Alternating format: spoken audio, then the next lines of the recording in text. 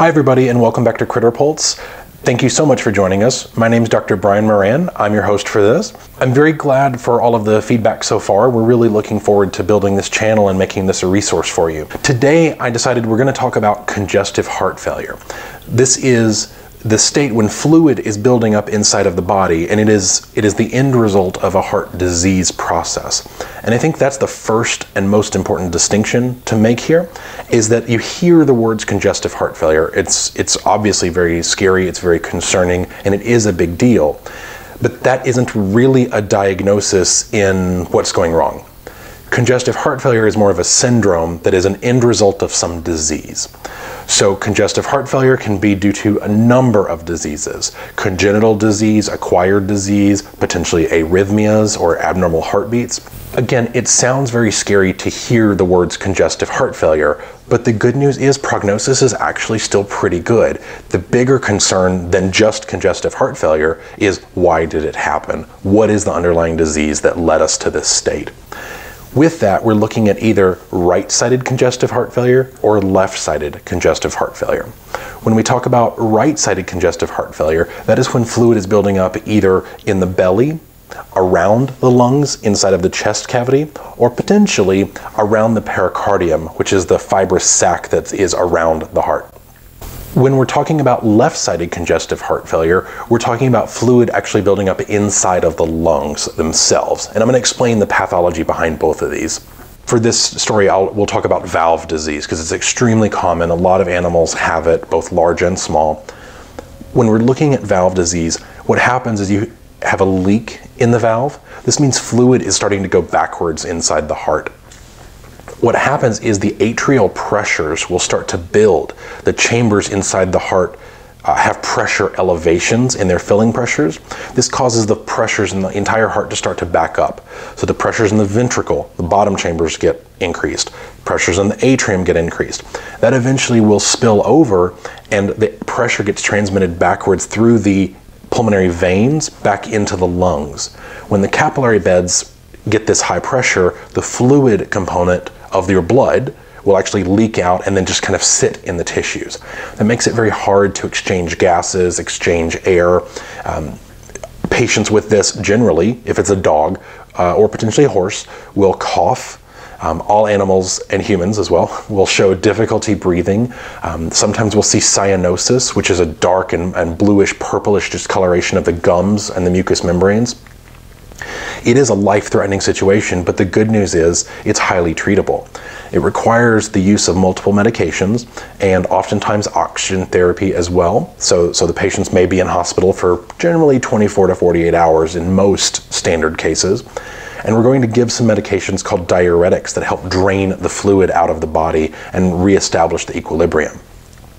Right-sided congestive heart failure is the fluid accumulation either in the belly inside the chest, so around the lungs, or potentially uh, inside the sac around the heart. But we're going to come back to that in a future video because that's a really specific uh, scenario. I'll talk about the uh, abdominal effusion as our kind of go-to for this, but this is going to be fluid building up inside the belly. What happens is right heart pressure start to increase, so your right ventricle and right atrium. As the pressure goes up, it's transmitted to your cranial and especially caudal vena cava. Once the pressure in the vena cava gets increased, that increases the pressure inside your liver, and that will eventually make all of the organs in your belly start to swell up, get a little bit of edematous, have some fluid kind of there, and then as the pressure continues to rise, you actually have fluid start leaking out of those and actually filling the belly. So that's certainly not fun. The good news is prognosis is actually still quite good for most of those dogs uh, and cats and horses. The issue is why did it happen? For right-sided patients, they actually can go into severe distress, meaning they can have trouble breathing simply because the, the fluid is so taut in the abdomen. It's caused the belly to get so tight, the diaphragm itself can't move, and they can end up having a lot of difficulty breathing. In that situation, the first thing that we do is called an abdominocentesis or a belly tap. That's where we actually put a small needle in, we're actually draining fluid out of the belly, which relieves that pressure against the diaphragm and lets the animals breathe better. Those patients almost always also get treated with diuretics as well. So we're going to give some medications to actually help drain fluid out of the body.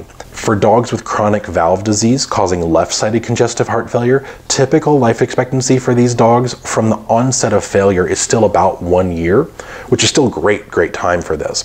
For dogs with right sided congestive heart failure, it's harder to predict how long they're going to live. Generally, dogs with right sided congestive heart failure don't don't just fall over dead. It's more a quality of life issue. With all that fluid building up, they have to get repeated taps, adjustments to medications. Um, many times it becomes a quality of life issue where they start to lose a lot of weight and they're not doing clinically well. Um, and unfortunately, the, the families elect that they're gonna, gonna let them go at that time, which is tough. Something that's really important about understanding the modalities that we use, the different testing that we do, is that chest x rays basically every veterinarian has access to those in their practice. Chest x-rays are so important because they allow us to look at the pulmonary parenchyma, so the tissue, the lung tissue. It allows us to look at the pulmonary vasculature as well as the cardiac silhouette and determine has fluid built up either around the lungs or inside the lungs.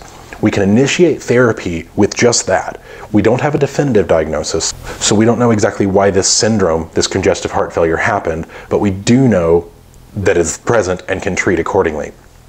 Once the animals are stabilized, we then can do the echocardiogram or the ultrasound to look inside and say, okay, here's why it went wrong, and here's how we can go about fixing this and, and or treating it at least, if not actually a cure. For any dog, cat, horse, any animal that is in congestive heart failure that's had fluid building up in them, it is so, so important that we recheck those laboratory studies at that time. We've got to know that the kidneys are happy, that they're content. We've got to understand that the electrolytes are normal.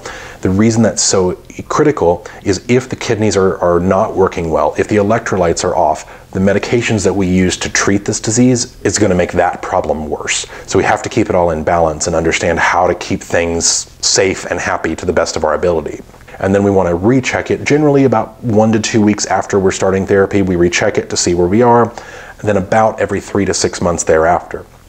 Depending on the actual disease process, we can then look at what is the recheck via echocardiography. So when are we going to recheck the heart, see how things are going there, and then we just have to monitor them and see how they're how they're going to fare for the long term.